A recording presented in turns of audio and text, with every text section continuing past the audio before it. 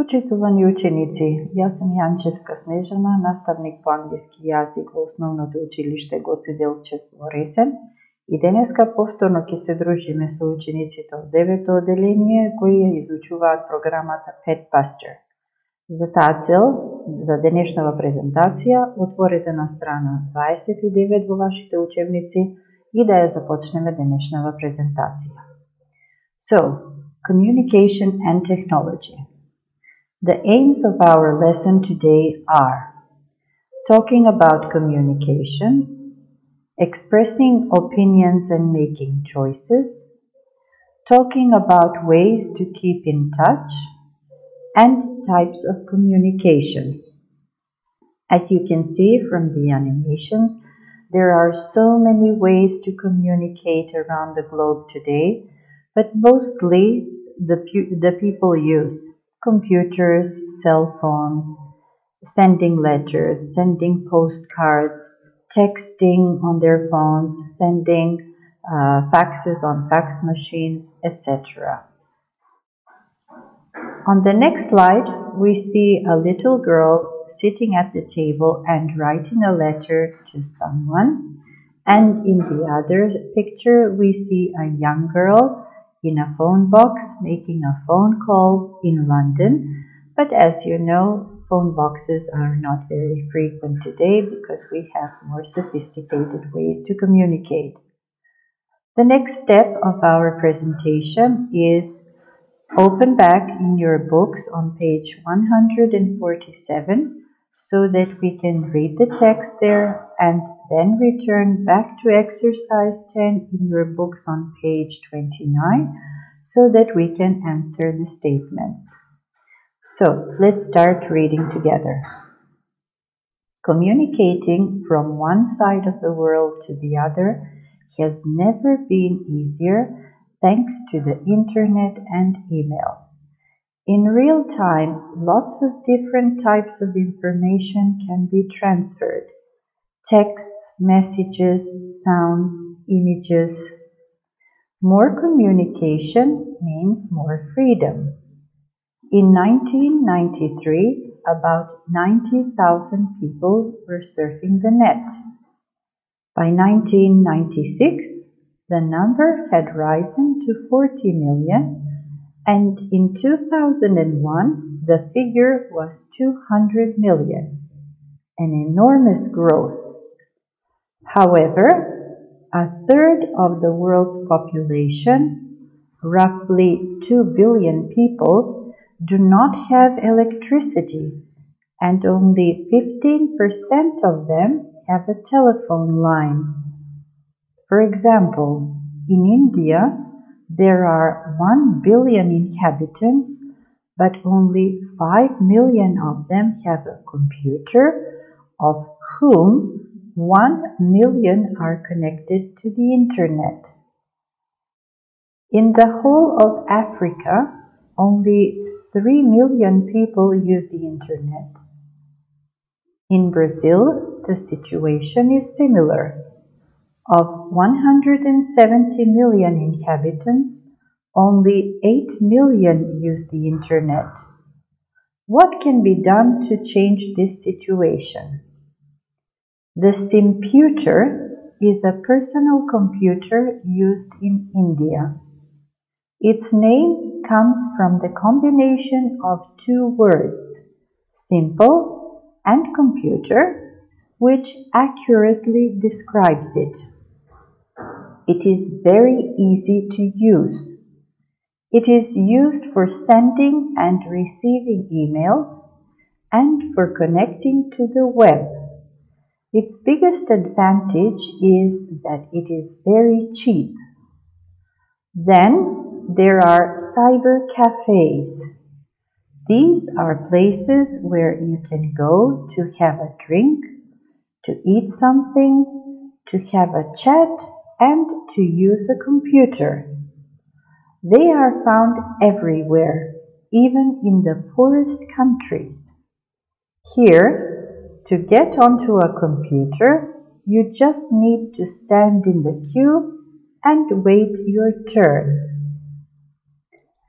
Now that we read the text carefully, go back to exercise 10 in your books, listen and decide if the statements are true and mark them with T or false and mark them with F. Let's go with the first statement. Communicating was much harder in the past. The answer is true. Statement B. Sounds and images cannot be transferred in real time. The answer is false. Statement C. By 1996, over 200 million people were surfing the net. The answer is false. Statement D. 5 million of India's 1 billion inhabitants have computer. The answer is true. Statement E. None of them are connected to the internet. The answer is false. Statement F. Brazil's 170 million inhabitants all use the internet. The answer is false. Statement G. Simputer is a simple computer used for sending and receiving emails. The answer is true. Statement H. Its disadvantage is that it's quite expensive. The answer is false. Statement I.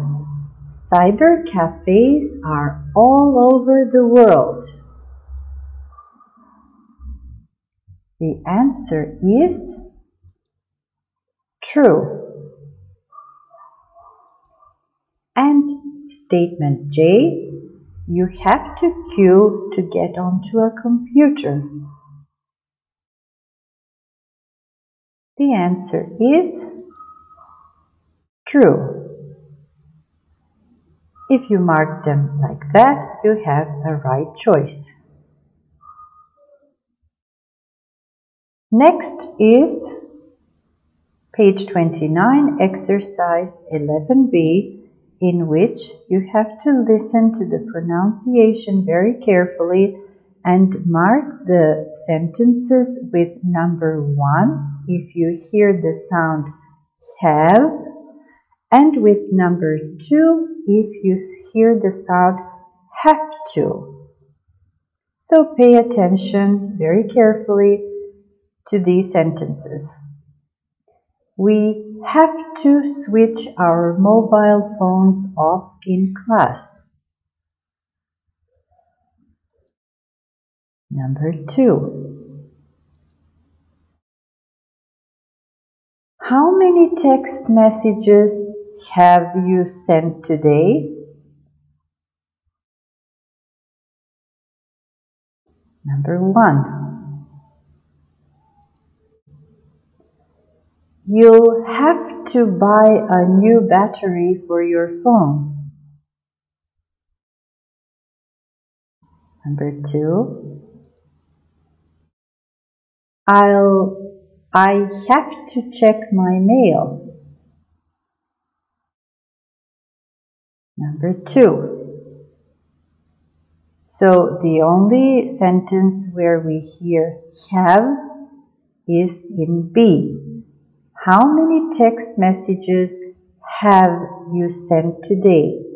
The other three sentences have the sound have to. Next, we go on to exercise 12, where we have to write an email to a friend. Why? Because you are traveling to Paris with a friend next week. Write an email to your friend.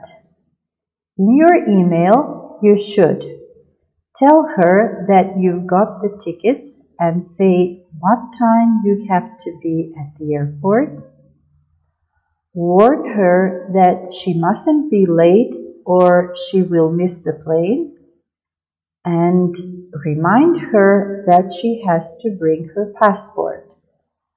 Let this be your homework for the next lesson. So, thank you very much for watching and the attention. And if you like my presentation, be with me again next time. Until then, bye.